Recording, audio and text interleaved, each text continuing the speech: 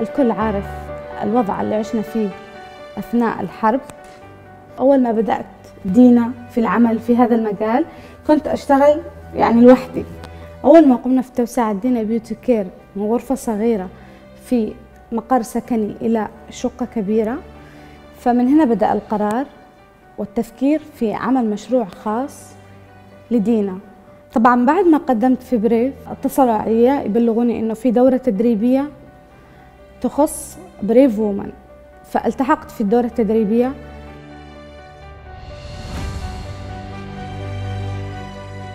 فكان الدعم الفني والتدريبي والاستشاري أقوى من الدعم المادي.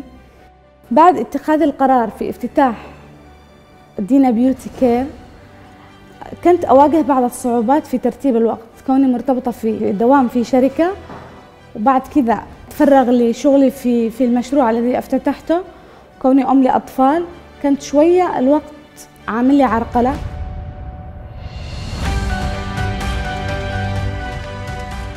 بعد ما شفت الإقبال كبير على دينا beauty care فاتخذت قرار أنني أتوقف عن الشغل في الشركة وأتفرغ تماما في الدوامين لمشروعي الخاص. وحاولت أوظف بنات يعملوا لي الخدمات الغير أساسية في الصالون وأني أتفرغ للنشاط الأساسي داخل داخل الصالون وأقبل عدد أكبر من العدد اللي كنت أقبله في منشأتي الصغيرة.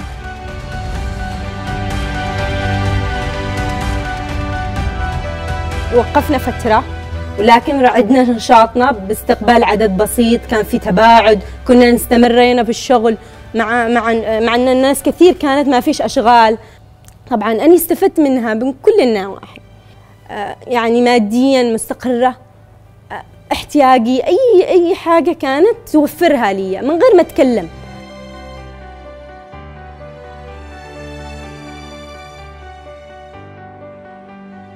دوري مع مركز دينا beauty care كان في إعطائها النصائح الدائمة في كيفية أنها تختار الأشياء دي يكون في مستقبلها في تطوير واستمرارية عملها. طبعا باللي وصلت له اليوم جدا راضية الحمد لله. وإن شاء الله دينا beauty care ما بيوقفش هنا. إن شاء الله بنكون في تطور مستمر ونواكب كل جديد.